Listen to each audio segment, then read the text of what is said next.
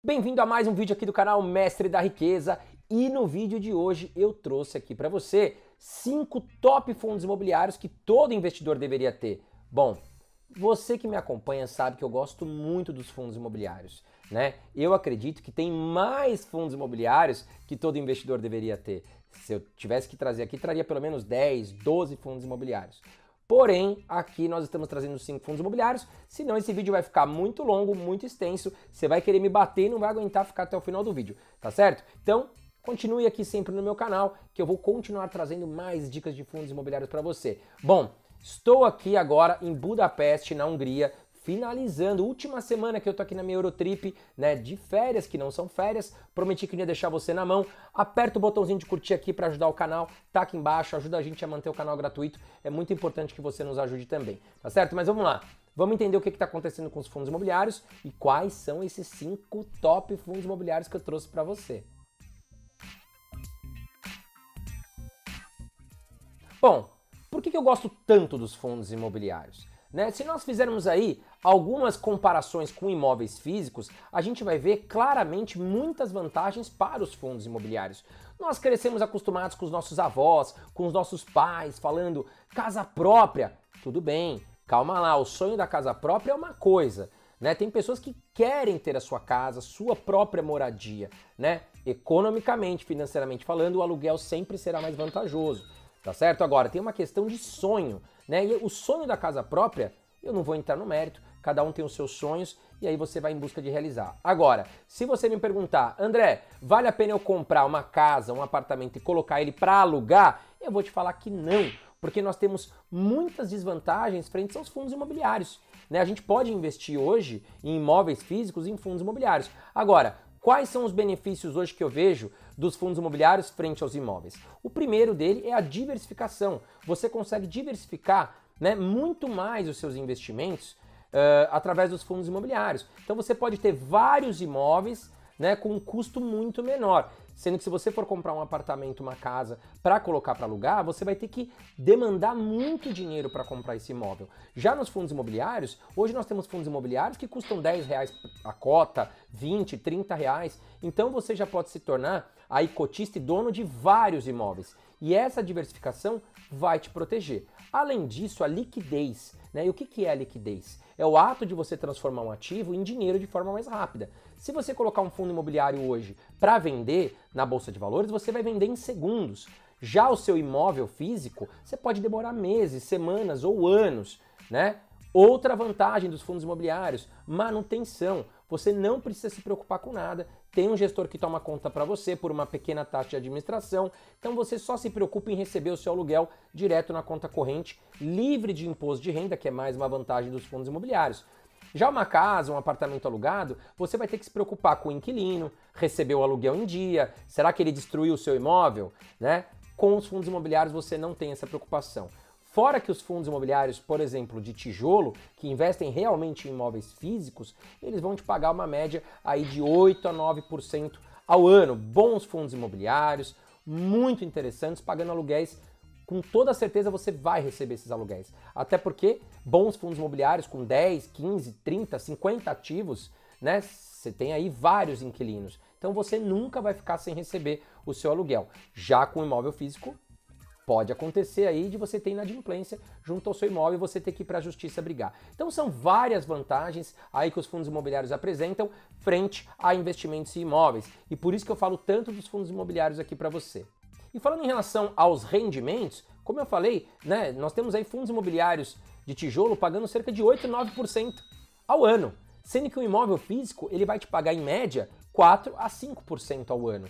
Então você consegue ganhar o dobro ou até mais do que o dobro de aluguéis protegido, diversificado, com muito mais liquidez. Então, bom, espero ter te convencido que para investimento, para buscar rendimento e geração de renda, os fundos imobiliários são muito melhores.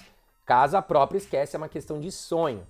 Inclusive, eu vou deixar um card aqui para você, né, dos fundos imobiliários que eu tenho, quanto eu ganho de renda. Vai lá depois que você assistir esse vídeo, confere que tá muito legal. Né? Eu, hoje eu ganho uma média de 0,8% limpinho na minha conta todos os meses. Se eu tivesse comprado um imóvel para alugar, aí teria em média 0,3, 0,4. Então eu ganho o dobro com os fundos imobiliários. Depois você confere aqui, acabou esse vídeo, você vai lá conferir quanto que eu ganho de fundos imobiliários de renda por mês. Bom, e antes de falar aqui o primeiro fundo imobiliário top que todo investidor deveria ter, eu vou te falar da minha comunidade, comunidade Eu Vivo de Dividendos, onde você vai ter muitas aulas comigo para aprender realmente a analisar um fundo imobiliário, analisar uma ação. Não adianta você investir no mercado sem saber o que você está fazendo. Você precisa aprender a investir. E na comunidade nós vamos te ensinar a analisar os fundos imobiliários, analisar as ações, analisar ativos no exterior também, entre outros produtos como renda fixa. Planejamento financeiro é uma comunidade completa, tá certo? Mas não é apenas um curso. Você vai ter uma comunidade, uma rede social exclusiva comigo e com a minha equipe, onde nós estamos tirando dúvida todos os dias. Além disso, são centenas de pessoas que estão se comunicando, que estão no mesmo nível que você, começando ou já começaram, vão poder te ajudar com dicas e estratégias também. Fora isso, tem mentorias em grupo todos os meses, então vale muito a pena você conhecer. Bom, não estão com muito tempo para estudar agora, fica tranquilo porque tem carteira recomendada. Você pode utilizar as nossas carteiras recomendadas para montar uma carteira segura e eficiente. Então tem carteira recomendada de ações, tem carteira recomendada de fundos imobiliários. Fica tranquilo, fica tranquila que vale muito a pena. Aqui embaixo está o link, tá certo? Vai lá conhecer a comunidade. Você tem sete dias, né, para conhecer a comunidade. Se você não gostar, eu devolvo o seu dinheiro 100% completo, tá bom? E aí você não vai mais reclamar comigo. Bom, mas praticamente ninguém pede reembolso porque o pessoal gosta muito. Vem para a comunidade. Vamos lá, primeiro fundo imobiliário que eu trago aqui para você é o KNRI 11, um fundo imobiliário de muita excelência que é gerenciado pelo grupo Kinea, que, que é um braço aí é uma empresa, um braço do grupo Itaú. Então eu gosto muito do KNRI 11, acredito que hoje ele é muito indicado até mesmo para investidores iniciantes que nunca investiram. Vamos lá, vamos para a ficha técnica do KNRI 11. Então tá lá. Ele é um tipo de fundo, fundo de tijolo, ele tem um segmento híbrido. Por que híbrido? Porque ele pode investir em mais de uma classe de ativos. Então hoje o KNR 11, ele investe em lajes corporativas e galpões logísticos, tá? Olha lá, nós temos aqui hoje Uh, o segmento híbrido, como eu falei, uma vacância de 2,97%. O que, que seria vacância? Né? É o ato de estar vago. Então, apenas 2,97% de todos os imóveis, você vai ver que são 20 ativos, estão disponíveis para alugar. Então, tem muito pouco espaço ali ainda disponível, o que mostra a excelente qualidade e localização dos ativos que tem o KNR 11. Porque se não tem ativo para alugar, é porque realmente o gestor está fazendo um belo trabalho, todos os imóveis estão alugados. Bom, seguindo aqui, nós temos 248 mil cotistas no fundo, é um dos maiores fundos que nós temos em número de cotistas na Bolsa de Valores. A sua taxa de administração está em 1,25% ao ano e nós temos hoje um valor patrimonial do fundo de 3,87 bilhões de reais. Realmente é um dos maiores fundos também em relação ao valor patrimonial sendo que o valor patrimonial por cota está em R$ 160,18. E aqui eu vou te explicar de uma forma simples, tá? Imagina que nós pegamos aqui, ó, vamos até voltar para a ficha técnica. Olha lá, nós pegamos os 3,87 bilhões de reais e dividimos em várias cotas, né? Ou seja, pegamos todos os galpões, todas as lajes, quebramos elas em vários papeizinhos, digamos assim.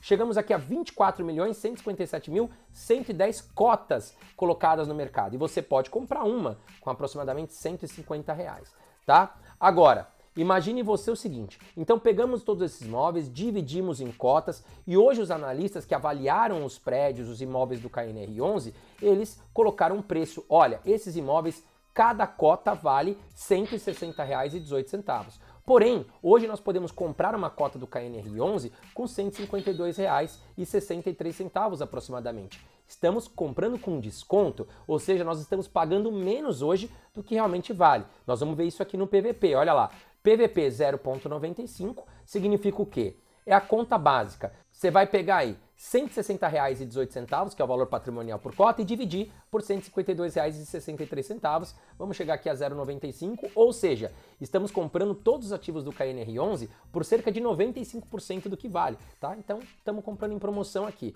Bom, nos últimos 12 meses o fundo pagou 7,27%, lembrando que os dividendos pagos pelos fundos imobiliários são isentos da cobrança de imposto de renda. Nós temos aqui uma liquidez diária de 3,70 milhões de reais. Já expliquei para você o que é liquidez, é o ato de você transformar aí o seu ativo em dinheiro, 3,70 milhões de reais todos os dias são negociados, então se você precisar vender 10, 20, 50 mil, 100 mil, vai vender no mesmo dia, não vai ter problema, liquidez muito boa aqui para esse fundo. Bom, valorização nos últimos 12 meses de 23,64%, e se você tivesse investido mil reais nos últimos 10 anos, hoje você teria 2.391 reais. Mas aqui eu quero deixar para você né, um asterisco. Vamos deixar aqui um ponto de asterisco, um ponto de atenção.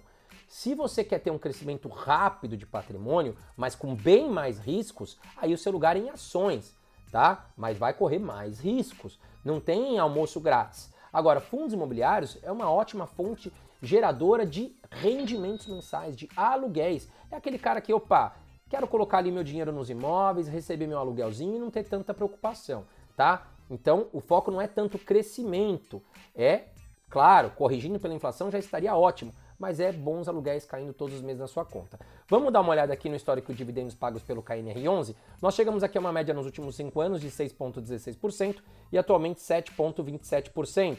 E vamos dar uma olhada também nos ativos, como eu falei para vocês, né? São 20 ativos que o KNR11 tem hoje, sendo que são 14 em São Paulo, 4 no Rio de Janeiro e 2 em Minas Gerais.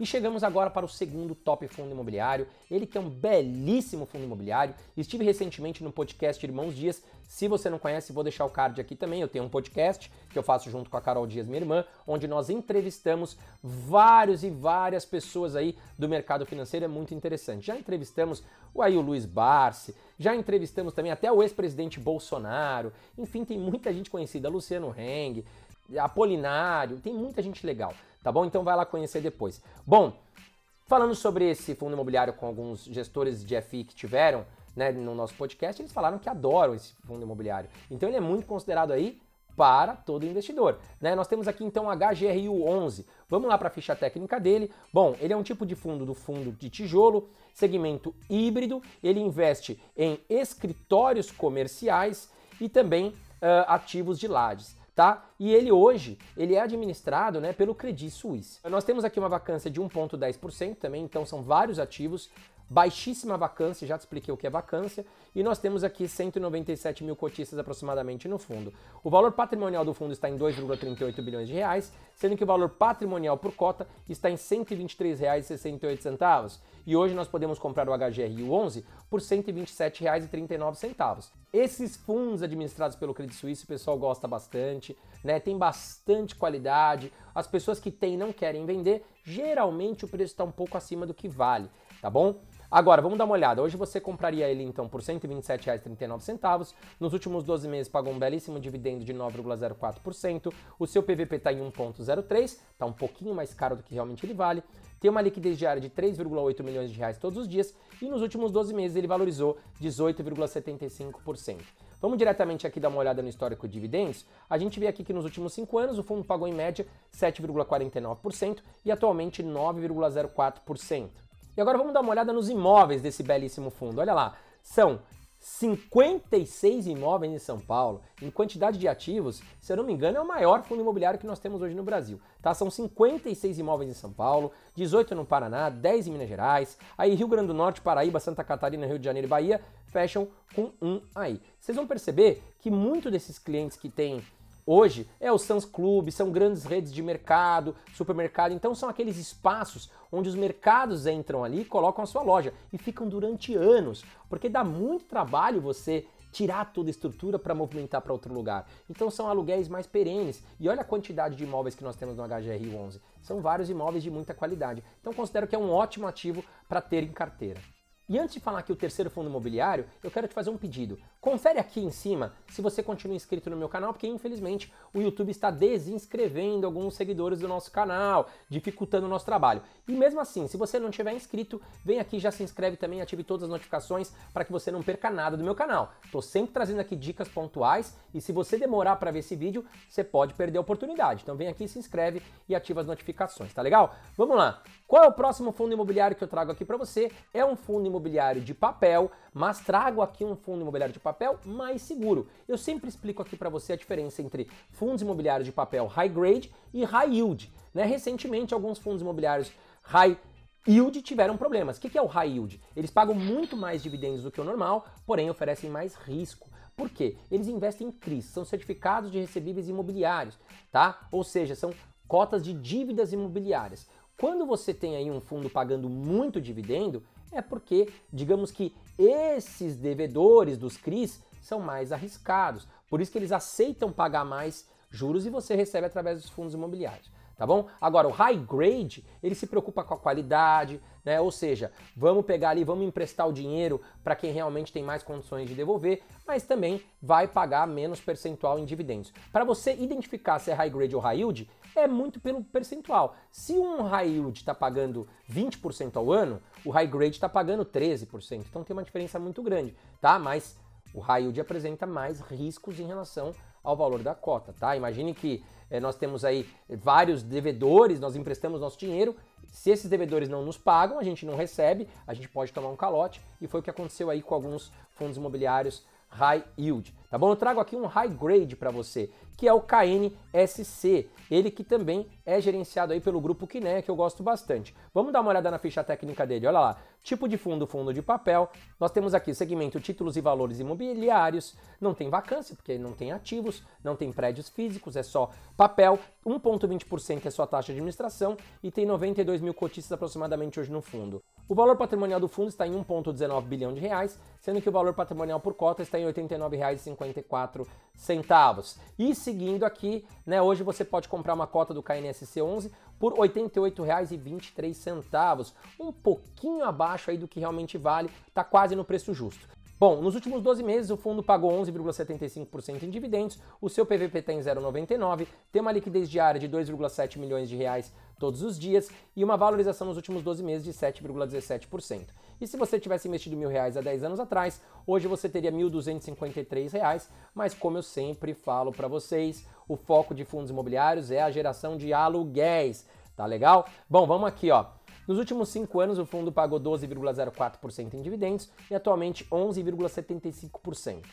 E chegamos agora no nosso quarto fundo imobiliário, um belíssimo fundo imobiliário de shopping center. Os brasileiros amam shopping center, mas em 2020, 2021, todo mundo ficou preso em casa, os shopping centers ficaram vazios, os lojistas não tinham para quem vender e aí, meu amigo, tivemos grandes problemas aí em relação à valorização, à desvalorização dos fundos imobiliários de shopping. Não teve jeito, eles derreteram, mas agora voltaram a se valorizar e vários deles ainda apresentam bons descontos. Eu falei aí que os fundos imobiliários, a festa iria começar. Depois eu falei que a festa começou e ainda tinha oportunidade. E quem está inscrito no meu canal pegou ótimas oportunidades. Trago aqui para você um belíssimo fundo imobiliário de shopping que é o VISC 11. Olha lá, fundo de tijolo, hoje o segmento dele de shoppings e varejo tem uma taxa de administração de 1,35% ao ano, uma vacância de 7,40% e hoje nós temos 242 mil cotistas aproximados aqui no fundo imobiliário VISC 11.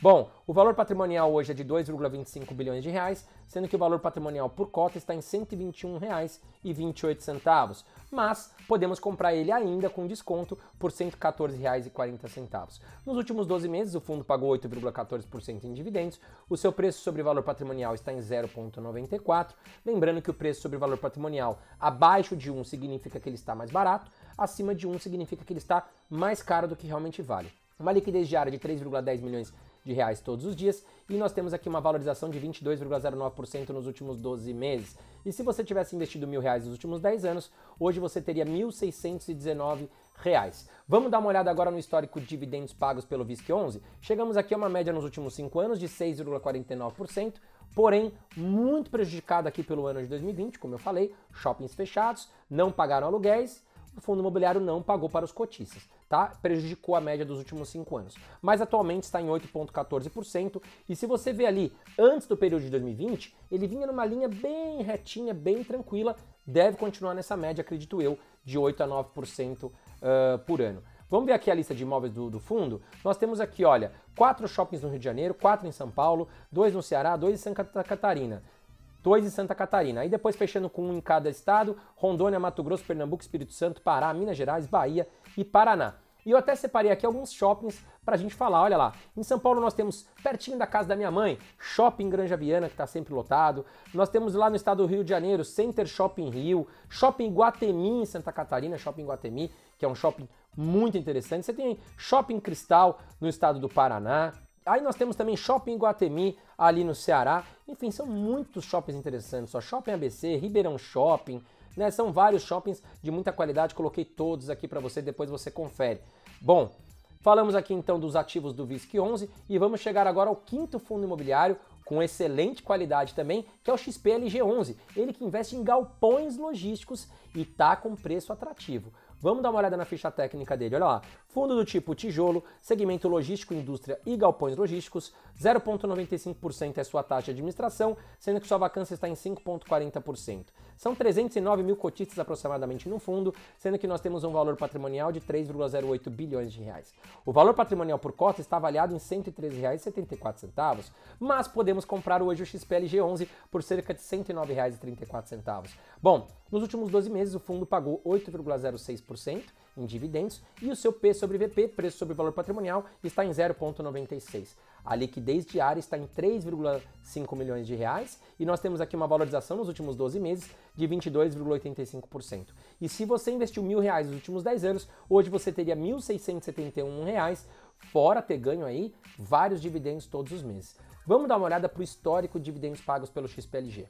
Então olha lá, nos últimos 5 anos pagou uma média de 7,16% e atualmente 8,06%.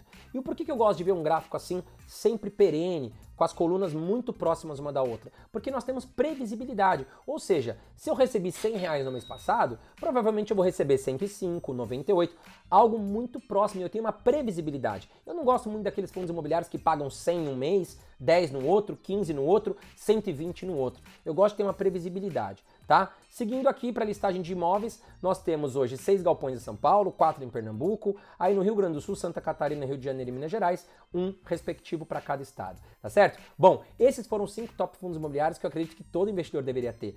Quais outros fundos imobiliários eu não citei aqui? Vamos ver quem ganha nos comentários. Comenta aqui embaixo comigo, tá certo? Bom, não se esqueça, aperta o botãozinho de curtir para ajudar o nosso canal. Um grande abraço para você e até a próxima.